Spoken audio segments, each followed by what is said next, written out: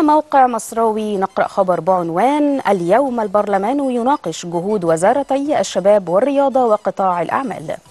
يعقد مجلس النواب اليوم الخميس جلسته العامة برئاسة المستشار حنفي جبالي بحضور وزيري قطاع الأعمال والشباب والرياضة. ومن المقرر أن يستمع أعضاء اللجنة العامة إلى بياني قطاع الأعمال والشباب والرياضة بشأن جهود الوزارتين خلال الفترة السابقة. واستمع أمس الأربعاء الأعضاء إلى بيان من وزير التربية والتعليم الدكتور طارق شوقي حيث تم إحالته للجنة التعليم والبحث العلمي.